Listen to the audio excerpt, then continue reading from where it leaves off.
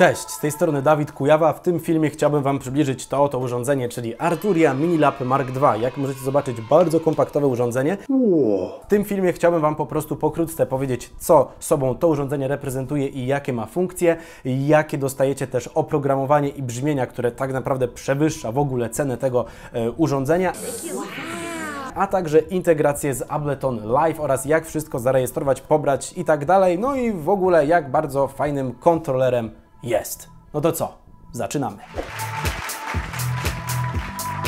Co znajdziemy na pokładzie tego urządzenia? 16 encoderów, 8 padów czułych na siłę uderzenia i siłę docisku. Oczywiście również z podświetleniem RGB. 25 przycisków Slim Keys, czyli niepełnowymiarowych, ale takich małych, przyjemnych. Przypominam, że to urządzenie ma być kompaktowe. No ale ta klawiatura spokojnie ma naprawdę bardzo fajny feeling do odgrywania jakichkolwiek brzmień. Dwa paski Touch Strip, czyli dwa dotykowe paski, które tutaj funkcjonują jako pitch bend oraz koło modulacji. No i cztery przyciski funkcyjne Shift, który odpowiada za wybór kanału MIDI, na którym będzie nam nadawać ta klawiatura. Wtedy przytrzymujemy Shift i wybieramy któryś z klawiszy. No i tutaj elegancko do góry mamy wszystko opisane. Przytrzymując Shift i któryś z padów, wybieramy konkretny bank ustawień, bank mapowań. Nominalnie jest to ustawienie numer jeden, czyli wtedy integracja z oprogramowaniem Analog Lab. Jest to oprogramowanie e, francuskiego producenta Arturia które umożliwia nam dostęp do bardzo wielu brzmień z fajnych klasycznych syntezatorów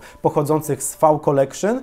To jest już nieco inne rozszerzenie, większe, natomiast w Analog Labie macie pełno presetów brzmieniowych, które możecie od razu wykorzystać, a także dostrajać za pomocą tutaj dostępnych encoderów, dzięki temu, że to urządzenie świetnie się integruje właśnie z wtyczką Analog e, Lab. No i do tego e, urządzenia dostajecie wersję Lite, czyli ponad 500 presetów. Swobodnie możecie sobie to rozszerzyć do ponad 6,5 tysiąca brzmień za niekoniecznie wielką kasę. Naprawdę polecam. Dodatkowo przycisk pad, który funkcjonuje jako 1.8 lub 9.16, dzięki czemu mimo iż na froncie urządzenia mamy dostęp do 8 padów, po przyciśnięciu dostajemy niejako dostęp do kolejnych 8, czyli łącznie 16. Złącze USB, dzięki czemu możemy podłączyć kabel i zasilić to urządzenie, ponieważ jest bus powered, a także no, dzięki temu komunikuje się po prostu z komputerem. No i wejście na pedał sustain, czyli coś dla zatwardziałych pianistów. Wiadomo, że bez tego w zasadzie ani rusz. Ok, tak jak już zapowiedziałem, dołączone oprogramowanie i brzmienia znacznie przewyższają cenę tego kontrolera,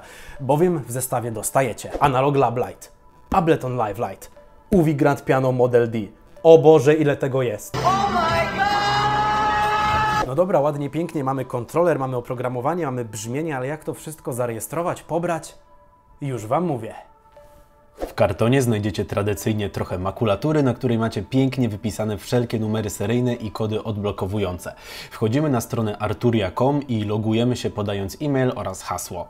Jeżeli nie masz konta, to stwórz je poprzez Create Account. Następnie po zalogowaniu klikamy na Register New Product i wpisujemy numer seryjny oraz kod odblokowujący. Klikamy Register i już można cieszyć się swoim produktem. Teraz wystarczy pobrać Arturia Software Center oraz MIDI Control Center, aby wygodnie zarządzać licencjami, oprogramowaniem Arturia czy wszelkimi mapowaniami MIDI. Pobieramy odpowiednią wersję na PC bądź maczki i voilà!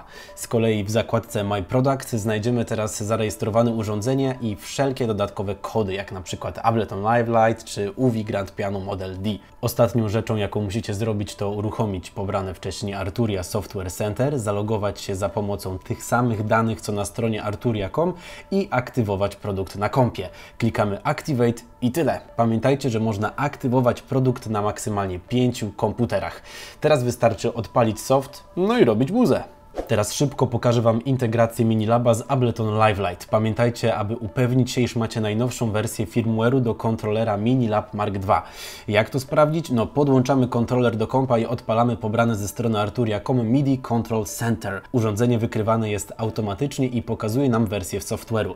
Jeżeli nie jest to najnowsza wersja, to aktualizujemy i podążamy za instrukcjami. Jeżeli wszystko już macie pięknie zaktualizowane, no to ważnym aspektem jest wersja live'a. Od wersji 9.7.2 Minilab Mark II ma wbudowany mapping, dzięki czemu po podłączeniu kontrolera i uruchomieniu naszego DAW wszystko ustawia się automatycznie.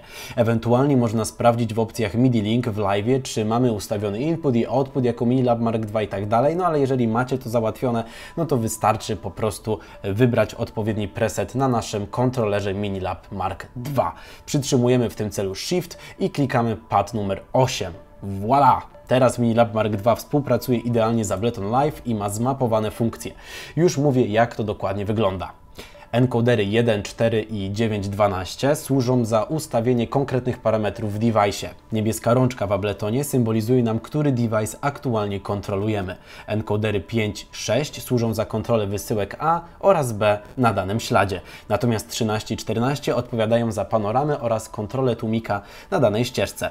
7 oraz 15 to nic innego jak kontrola wysyłek A oraz B, a tak naprawdę tłumików na tych wysyłkach. Z kolei mega ważny jest encoder numer numer 8, którym nawigujemy się po ścieżkach lewo-prawo oraz encoder numer 16, dzięki któremu przemieszczamy się po całych scenach. Góra, no i dół. W tym trybie nasze 8 padów na kontrolerze odzwierciedla 8 klipów z wybranej sceny, po których, przypominam, możemy się przemieszczać encoderem numer 16. Podświetlony na żółto pad symbolizuje obecność klipu na danej ścieżce. Przyciśnięcie takiego padu spowoduje odpalenie danego klipu. Natomiast bardzo fajną sprawą jest to, iż przyciśnięcie, nazwijmy to pustego padu, spowoduje uruchomienie nagrywania, po czym możemy odegrać jakąś partię i przyciśnięcie znów tego samego padu spowoduje zakończenie nagrywania nagrywania i zapętlenie tego klipu.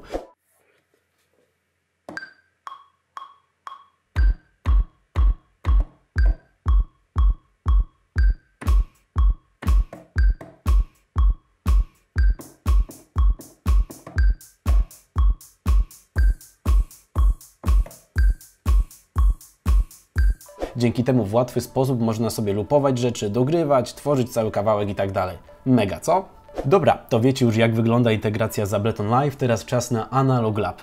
Tu sprawa jeszcze prostsza. Wystarczy odpalić Analog Lab i z presetów MIDI wybrać numer 1, który podpisany jest zresztą no, bardzo przewrotnie jako Analog Lab jeżeli mamy wybrany właśnie ten preset na naszej klawiaturze, to teraz Minilab Mark II integruje się idealnie z Analog Labem, a więc wszelkie encodery komunikują się z softem i numer 1 oraz 9, co chcę wyraźnie podkreślić, mają narysowane strzałki, co oznacza, że można te encodery przyciskać w celu akceptacji danej komendy. Jedynka odpowiada za nawigację po kategoriach brzmień i filtrowaniu ich, natomiast 9 służy do wyboru konkretnego brzmienia. Przyciśnięcie spowoduje wybór tego brzmienia i tyle. Mega wygodna, świetna sprawa. Wszystkie inne encodery służą do dostrajania naszego brzmienia, czyli zmiana częstotliwości odcięcia, rezonans, reverb itd., tak itd. Tak e, no tutaj, tak jak to jest przypisane przy encoderach, taką funkcję właśnie będzie to spełniać wobec wybranego brzmienia, przez co swobodnie możecie to brzmienie właśnie kształtować.